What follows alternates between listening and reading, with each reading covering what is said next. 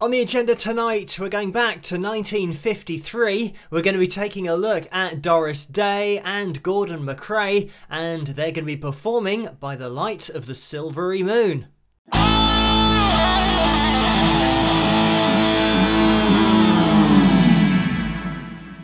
Hello, Phil here from Wings of Pegasus and welcome to another analysis video. If you enjoy this video, please give it a thumbs up and subscribe. So, I think with tonight's video, I'm going to have a bit of fun with the title because it's not a usual thing for me to look at performances that I've never seen before. Being a professional musician and guitar teacher for over 15 years, I've seen a hell of a lot of performances and listened to a hell of a lot of music, but this from 1953 is slightly before my time, so we're going to be jumping into it. As you guys know, we look at all kinds of music here on the channel, so looking forward to getting into this one. And uh, full disclosure, I know that my dad used to watch Doris Day movies, uh, but I haven't really seen any myself. So I've isolated the vocals and run them through the pitch monitoring software. So we'll see Doris's voice and Gordon's voice as a yellow line on the screen. And there are two voices harmonizing with each other. So the software does get a little bit confused sometimes, but when they're singing independently, we'll be able to have a look at exactly what's going on. But let's get into it, see how they get on.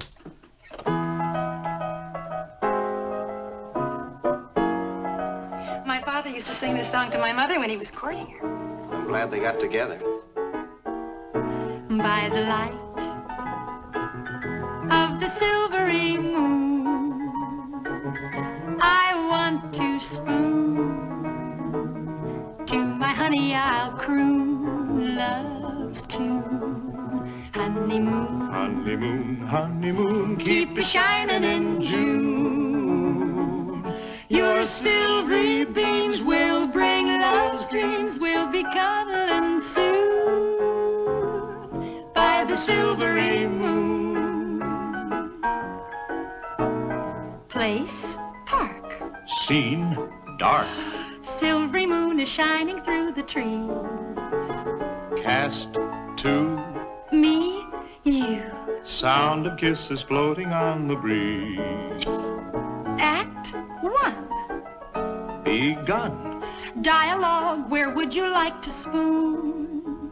My cue with you. Underneath the silvery moon. By the light. Not the dark, but the light. Of the silvery moon. Not the sun, but the moon. I want a spoon. Not croon, but swoon. To my honey I'll croon love's tune.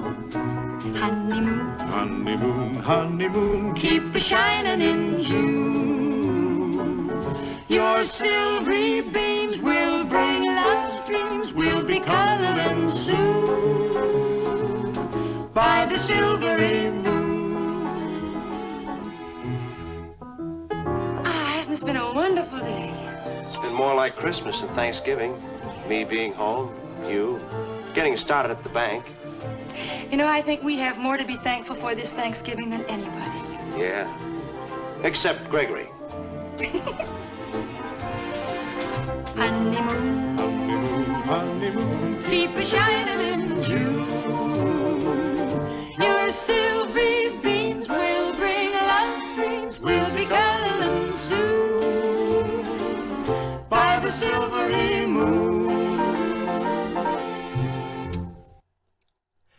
And there we have it.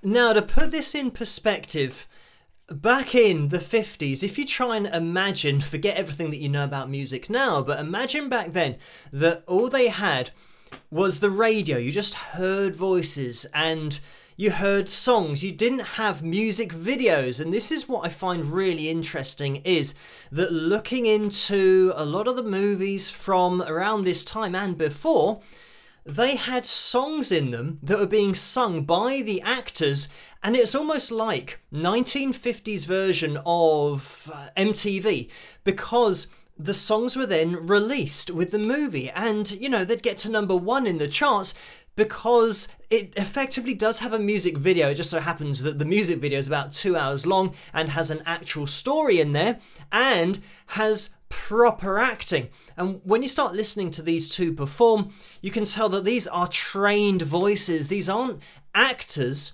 who are trying to sing, these are singers who are acting as well.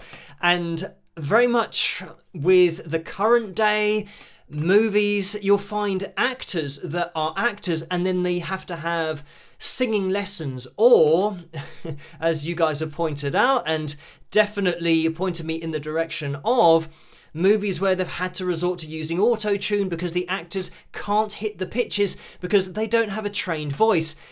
This is just the difference in the times that you had such great acting, first of all, but such great singing. When you think about that as a business model, I mean, it's pretty much perfect because you've got a captive audience who are watching the movie and they are watching the artist perform effectively because they're singing the songs that will then be released as a single or as an album with the movie. And uh, obviously, the people in the movie have got to have the talent to begin with in order to perform it at the same level as all of the musicians and artists that people can hear on the radio.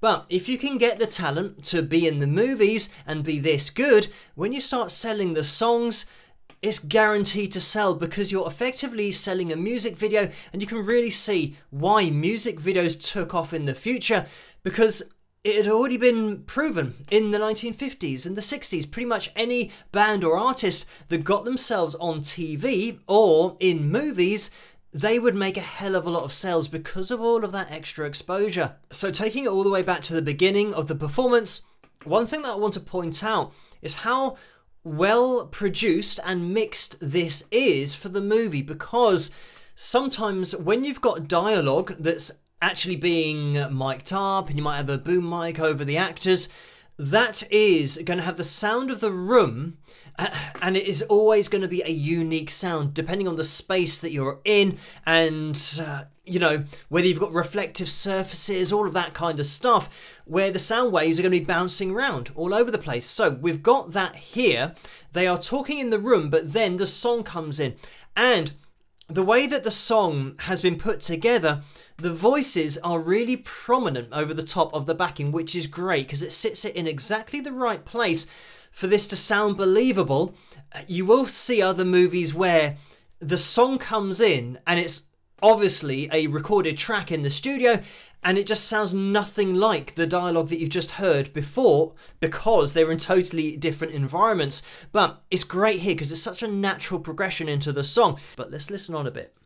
I want to spoon to my honey I'll croon love's tune honeymoon Honeymoon, honeymoon.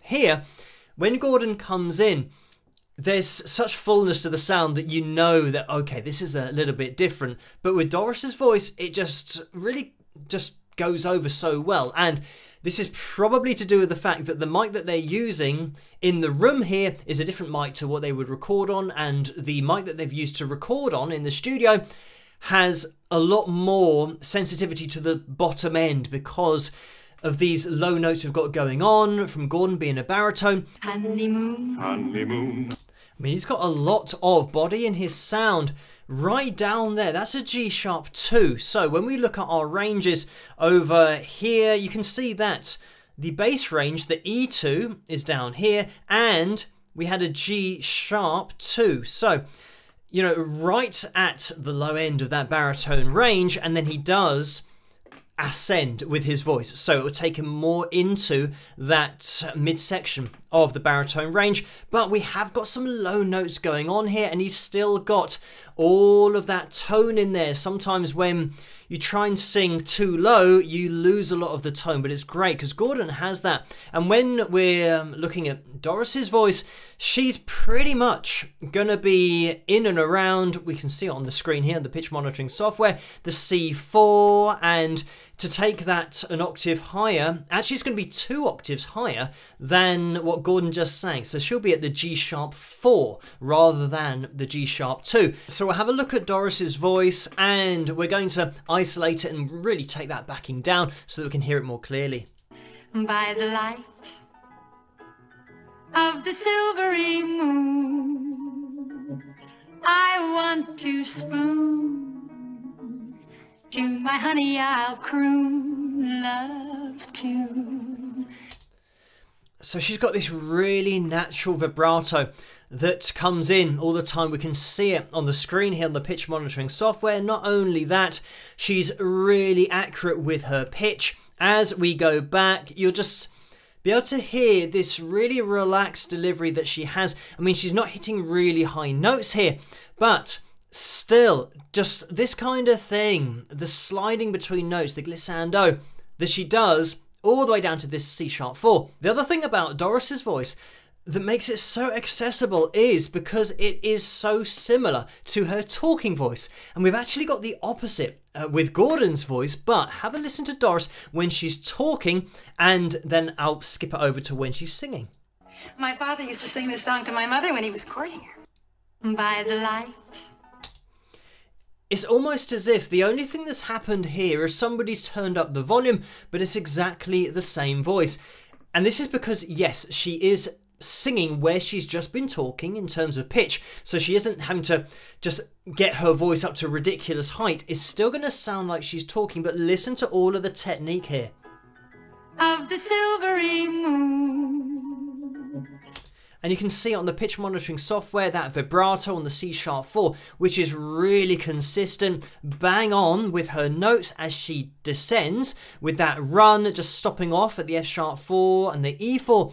So she's hitting notes really accurately, is employing all of the technique that you want to hear from a singer, but it sounds like her talking voice. The tone is identical. I want to spoon to my honey. I'll croon love's tune. Honeymoon. Honeymoon, honeymoon. try and log in your head Gordon's voice and then compare it to his voice when he comes in with his vocal. Ah, hasn't this been a wonderful day? It's been more like Christmas and Thanksgiving. Me being home, you, getting started at the bank. You know, I think we have more to be thankful for this Thanksgiving than anybody. Yeah. Except Gregory.